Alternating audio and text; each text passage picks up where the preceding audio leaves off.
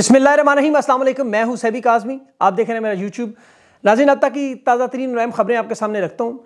इमरान खान कल जुमे की नमाज़ के बाद, जो जुमे की नमाज़ के बाद प्लान है इनका, उसको इम्प्लीमेंट करेंगे। कोई गिरफ्तारियाँ नहीं होगी। झंडे लाना क्यों लाजमी है? और कुरान मजीद भी साथ ले आए इलेक्शन 2023 पर बड़ा फैसला। यूरोपीय पार्लियामेंट के ऑब्जर्वर जो चीफ हैं, उनका ज़रा बयान में तफसील से आपके सामने रखता हूँ। परवेज खटक को इस वक्त बहुत बड़ी तैयारी करवाई जा रही है। वो तैयारी क्या है? और मौजूदा हुकूमत का एक बड़ा सरकारी एहलकार जिसका ज़िक्र इमरान खान ने बारहा किया, अमरीका एक साल के लिए जा रहा है। सोशल मीडिया पर एक नई ऐप थ्रेड्स ऐप, उस पर पीटीआई किस तरह छा गई, ये अकाउंट पर कैसे बनाई जाती है, इस पर बहुत से लोग पूछ रहे हैं। मैं इसका ज़रूर थोड़ा सा ज़िक्र करूँगा, ताकि आप लोग भी पीछे ना रहें। और हुकूमत के, अपने लोग हुकूमत के बारे में आपको पता है अजीबो गरीब बातें कर रहे हैं। इस्लामाबाद में जुडिशल कमीशन में एक नया जज लाया जा रहा है। अहम मामला गिलगित बल्तिस्तान के वजी अला की जाली डिग्री की वजह से पूरे एक सूबे की हुकूमत को और जमहूरीत को पामाल किया गया। दूसरी तरफ़ मैट्रिक पास जका अशरफ साहब पाकिस्तान क्रिकेट बोर्ड के चेयरमैन बन गए और यहाँ जुल्म की इंतहा देखें, ये वाकई बनाना रिपब्लिक है। पीसीबी का अगर आप कानून पढ़े तो उसमें चेयरमैन की कम अज़ कम तालीमी काबिलियत बैचलर है, यानी बी की डिग्री हो। लेकिन जका अशरफ साहब सिर्फ़ मैट्रिक पास हैं और लेकिन चूँकि वो आसिफ अली जरदारी के दोस्त हैं तो इसलिए कोई बड़ा मसला नहीं है। बेशक प्रोफेशनल हैं वो एक बहुत बड़े। लेकिन यहाँ पर जो बड़ी अहम बात है, वो अब एक्सप्रेस ट्रिब्यून की आप खबर देखें 12 फरवरी 2014 की मेरे साथ चल रही होगी। उस अखबार में छपी उसमें उन्होंने दावा किया कि जका अशरफ की इस्लामाबाद क्लब मेंबरशिप में ये उन्होंने बताया था कि वो बीए पास है। फिर इस्लामाबाद हाई कोर्ट में उनकी जो डिग्री है, वो जाली निकली और उनके ऊपर एफआईए और नैब की तरफ़ से अरबों रुपए के फ्रॉड के केसेस भी चलते रहे। ज़रिए तरक्याती बैंक और पाकिस्तान क्रिकेट बोर्ड के चेयरमैन थे। उसमें इस्लाम खान नामी एक शिकायत करंदा ने बाकायदा तौर पर इनके फ़ॉरन अकाउंट्स भी पेश किए और उसके बाद फिर चीफ जस्टिस ने नैब को हुक्म दिया था कि इनके खिलाफ इंक्वायरी की जाए। लेकिन ये अंदाज़ा करें कि एक कानून यहाँ पे क्या है और गिलगित बल्तिस्तान जो मैंने आपको पिछले भी इलाकों बताया कितना अहम इलाका वहाँ पर क्या हो रहा है। इस पर वो एक्सप्रेस न्यूज़ के सीनियर रिपोर्टर हैं फ़हीम साहब, उन्होंने बाकायदा ट्वीट भी की थी। अच्छा इस्लामाबाद हाई कोर्ट के जो जुडिशल कमीशन है, उन्होंने एक जज हैं, जहांगीर अवान साहब। उन्होंने सात दिसंबर को 2020 को एक शहरी के पाँव पर रेड जोन में फायर मारा था, जिस वजह से उन्हें बरतरफ कर दिया गया। अब उन्हें दोबारा लाया जा रहा है। क्या इमरान खान के फैसलों में आसानी और तब्दीली और तेज़ इंसाफ उसके लिए किया जा रहा है? और जफ़र इकबाल, सीनियर एडवोकेट, दोबारा उन्हें घर से उठाया, रिहा होते ही बात काले कोर्ट तक पहुँच चुकी है। और इस्लामाबाद के जो आईजी हैं अकबर नासिर साहब ये एक साल की छुट्टी पे अमेरिका जा रहे हैं। इन पर तोहन अदालत भी लगी हुई है सेंटोरस पे रिश्वत के केस भी हैं से, सेफ़ सिटी प्रोजेक्ट है उस पर करप्शन के अलावा सैकड़ों इल्ज़ाम और सबसे बढ़कर जो तरीके इंसाफ और मुजालिम है उस पर इमरान खान ने, ने बड़ा हैवीली क्रिटिसाइज़ किया है। और एक अली सतह का अफसर बैरून मुल्क जा रहा है और इनके बारे में देखें, मार्च में इमरान खान की एक वीडियो भी है, जिसमें बाकायदा इमरान खान ने कल दोबारा भी ज़िक्र किया कि आईजी पंजाब और आईजी इस्लामाबाद, इन दोनों का जमान पार्क के हवाले से और तहरीक इंसाफ के लोगों के बारे में। अब ये क्या भाग रहे हैं, क्या मामला है, अमेरिका में कहाँ जाएँगे, किसके पास जाएँगे ये अब आने वाला वक्त बताएगा। तहरीक इंसाफ के अली अवान साहब जो हैं, उन्हें दोबारा उन्होंने ट्वीट भी की कि इस्लामाबाद पुलिस ने उनके घर पर दोबारा चादर चार दीवारी का तकदस पामाल किया। उनके भाई आमिर नवाज़ अवान चार्टर्ड अकाउंटेंट हैं। उनके बीवी और चार बेटियों को, छोटी बच्चियों को उन्होंने अगवा किया। और ये बड़ा जुल्म का आलम है। एक तरफ़ यहाँ पे देखें, जुल्म की फस्ताइत का ये, और दूसरी तरफ़ एहतसाब अदालत जो है, वो नवाज़ शरीफ के साथ एक बड़ा लफ्ज़ लगता था, इश्तहारी। आपको पता है एप्सकॉन्डर उन्हें पहले पचास रुपये के स्टाम्प और मुल्क से बाहर जाने दिया गया था। अब उनकी रिहाई की दरख्वास्त उन्होंने सुन ली।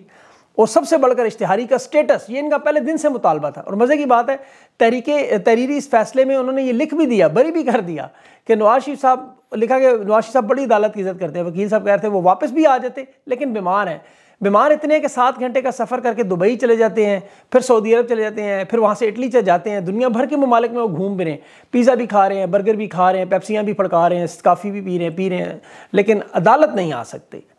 लेकिन उनके आने का मसला नहीं है, अदालत को तो हो सकता है उनके लिए यूरोप के किसी मुल्क में सेटअप करना चाहिए।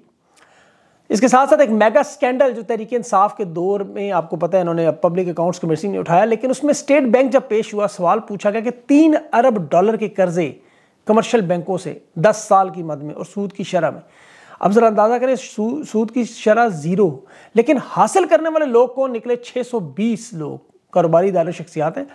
कोरोना के दिनों में, वबा के दिनों में चले, हुकूमत ने दी थी फैसिलिटी बहुत सारी हुकूमतों ने पैकेज अनाउंस यहाँ तक ठीक था।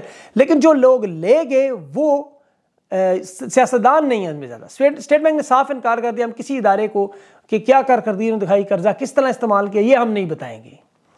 ये इन कैमरा सेशन में बता देंगे। अब वो कौन है? दलिए से लेकर सीमेंट तक, आपको पता है, बैंक से लेकर प्रॉपर्टी डीलिंग तक सारा माल। तो वहाँ अकाउंट्स कमेटी के तिलों में भी तेल नहीं रहा। और इसके हेड है नूर आलम खान। अब बाकी अब अंदाज़ा कर लें, क्या वारदात होगी। अच्छा जहांगीर तरीन के जो भाई हैं, आलमगीर तरीन के साथ जो वाक़ बड़ा अफसोसनाक वाक़ है खाना गोल्ला सब्र ता करे। अगर किसी के साथ भी इस तरह का मसला हो तो उन्हें तबी इमदाद ज़रूर हासिल करनी चाहिए। It's okay not to be okay ये बड़ा इंपॉर्टेंट वर्ड है। और ये पूरा खात भी उनके सामने आ गया जिल्द की बीमारी डर्माटाइटिस के शिकार थे। रात को नींद नहीं आती, कमर की मसला, नींद की गोलियाँ, फिर श्रीलंका में अपना गुजरा हुआ अच्छा वक्त भी उन्होंने ख़त में लिख दिया। लेकिन यहाँ एक बड़ा अहम सवाल लोग उठा रहे हैं। ज़मीन जायदाद का मसला, खुदकशी के मामले, अक्सर अवकात जो होता है, वो पीछे कोई ना कोई और शामिल होता है।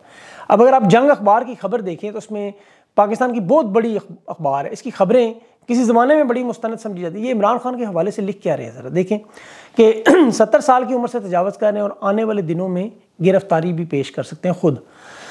क्योंकि इनके जो दोस्त हैं, वो अब दोस्त नहीं रहे, वादा माफ़ को आबाने अच्छा यहाँ ये बात किसी कार्य में मैं आपको बता देता हूँ और क्यों कह रहे हैं। परवेज खट्टर को प्रेस कॉन्फ्रेंस बाकायदा तौर पर याद कराई जा रही है। क्या बयान देना है, किस तरह देना है?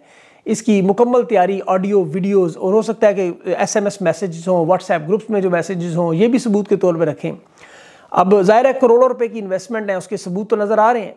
लेकिन इसकी एक मिसाल मैं आपको बता दूँ कि लोगों की नायली किस तरह है। फिर आपको आगे वो जंग की अखबार की बात मुकम्मल करता हूँ।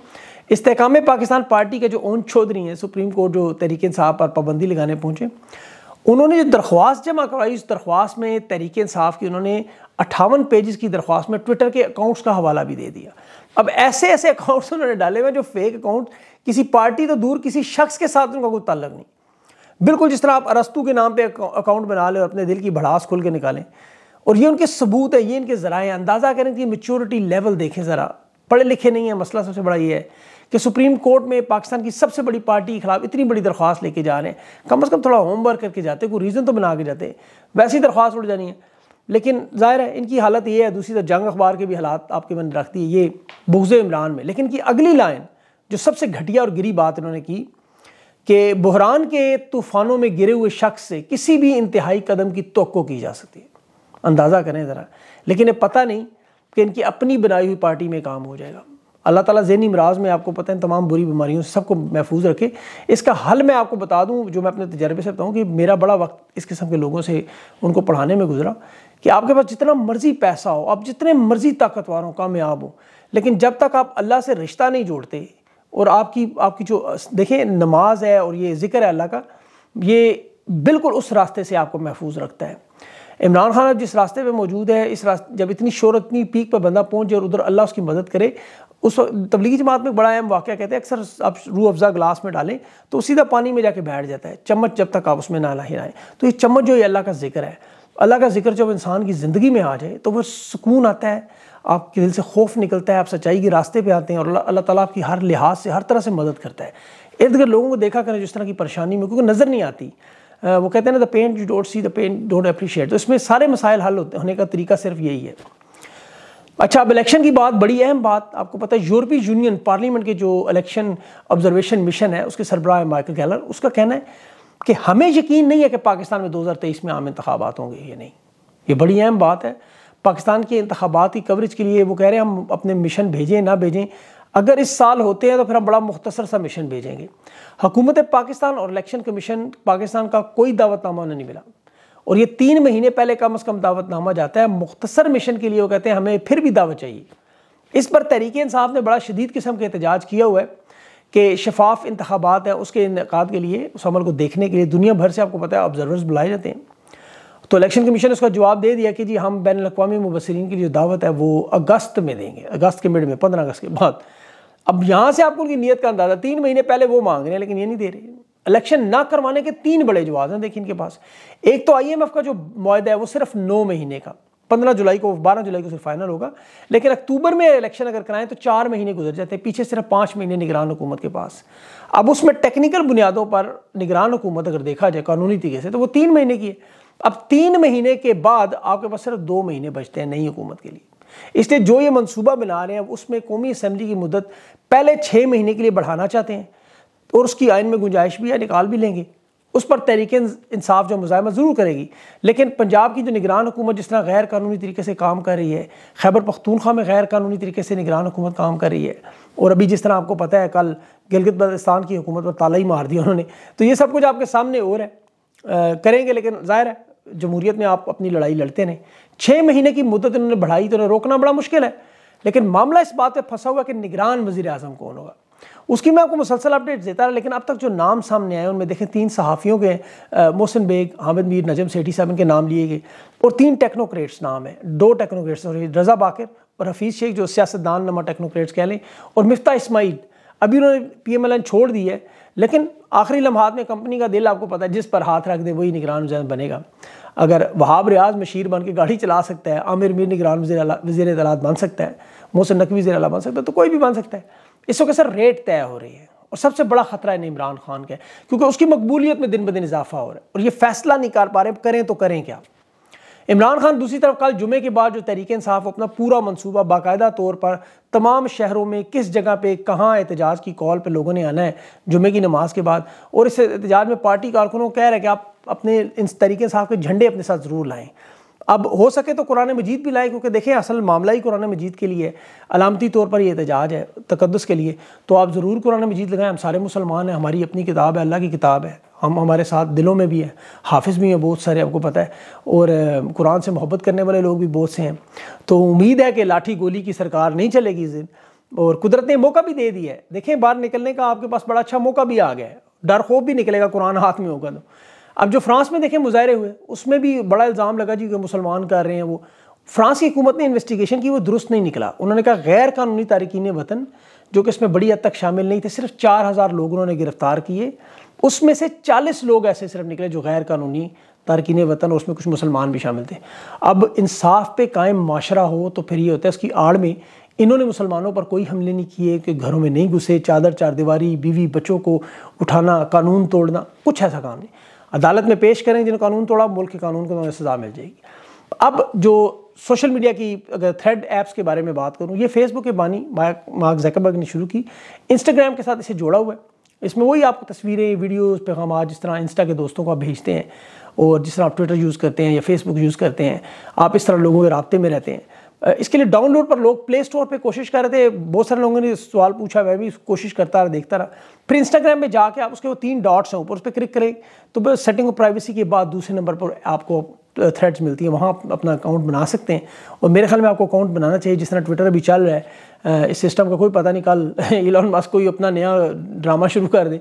तो इस एप्लीकेशन पर मैंने देखा तो हर तरफ़ तरीके इंसाफ के लोग नज़र आ रहे हैं। तो ये लग रहा है कि सोशल मीडिया पे ज़ाहिर इनकी बड़ी हैवी प्रेजेंस है। तो अगर आप लोग बनाएँगे अभी तो आपको भी ज़ाहिर है वो फॉलोअर्स वगैरह मिल जाते हैं लोग फॉलोअर्स को लोग पसंद करते हैं, ज़्यादा फॉलोअर्स हों। इन चीज़ों को खैर ज़्यादा इतनी अहमियत नहीं देनी चाहिए फॉलोअर्स इन चीज़ों को। ये आपका पैगाम होना चाहिए, आपकी सोच होनी चाहिए लोगों के सामने, आपकी तहरीर, आपको लोगों को, आपका पता चले आपकी सोच क्या है।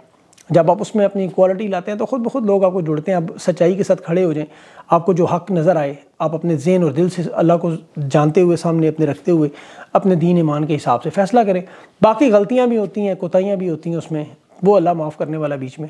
आप सिर्फ़ अपनी नीयत साफ़ रखें, जो भी काम करें उसमें यह सोचें कि आप किसी का इसमें बुरा नहीं करेंगे। कोशिश करेंगे, भला करेंगे, पाकिस्तान का सोचेंगे। पाकिस्तान की आवाम, पाकिस्तान के लोगों का दुनिया भर के लोगों का, बल्कि मुसलमानों, इंसानियत का सोचेंगे इन जनरल देखिए, हम थोड़ी सी ज़िंदगी है। इसमें हम कितना ज़्यादा, अभी आपके सामने ये आलमगीर तरीन साहब का मामला है। ये अरबपति लोग हैं, इनके पास इतना पैसा बेपना दौलत, लेकिन सुकून नहीं था ज़िंदगी में। तो सुकून लाने के लिए मैंने तो आपको पहले फार्मूला बता दिए। खुद भी अमल करें, दूसरों को भी बताएँ और मेरे लिए दुआ करें। अपना ख़ास ख्याल रखें। अगली वीडियो तक के लिए इजाज़त दें। अल्लाह हाफ़